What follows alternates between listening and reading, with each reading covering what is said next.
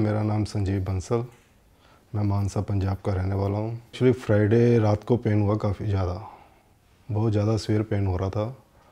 तो सुबह मैं डॉक्टर के पास चेक करवाने के लिए गया। तो उन्होंने कहा हमारी मुझे सजेस्ट की कि एमआरआई करवाइए। इतना सवेर पेन नहीं होना चाहिए। क्योंकि एक बारे में पहले भी मेरे हो चुका है ये पेन एक महीना पहले, डेढ़ महीना पहले। तो उसके बाद हम लोगों ने एमआरआई करवाई। तो उससे हमें पता चला कि हमारी जो नसें हैं वो थोड़ी सी फूल सी गई हैं। तो उसके बाद उन्होंने हमें रेफ़र किया पीजीआई के लिए। तो हम लोगों ने पीजीआई गए तो पीजीआई हम लोग पीजीआई वाले बोलते हैं कि अपना कि ओपन सर्जरी होगी कोयलिंग नहीं हो सकती। हमारे पास इतना सिस्टम नहीं है कि हम एडवांस सिस्टम नहीं है जिससे हम के कोयलिंग कर सकें।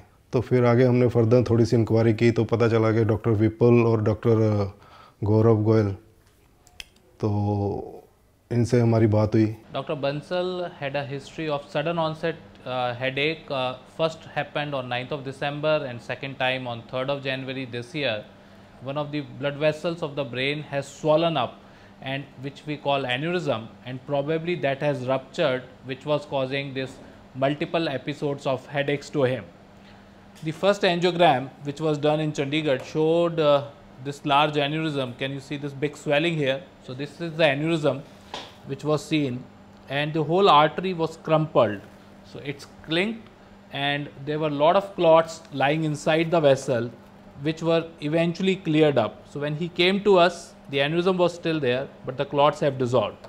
And this is the 3D picture which we are seeing here. And you can see the aneurysm and see how badly diseased the artery is. So the options were whether he should go for a very complicated open surgery and a bypass or we decided that we can place a stent across to preserve the vessel and put some coils here. So it was slightly tricky case, uh, took couple of hours for us, but in the end we were able to get it right.